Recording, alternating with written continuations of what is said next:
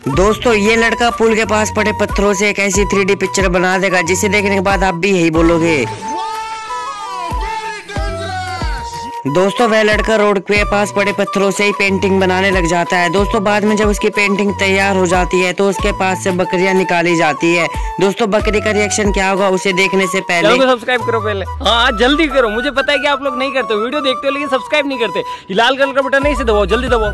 जल्दी दबाओ फिर मैं शुरू करो। दोस्तों जब बकरियाँ उस रोड पे से जा रही होती है तो बकरियों को वह गड्ढा लगता है इसलिए वह साइड में से निकल जाती हैं।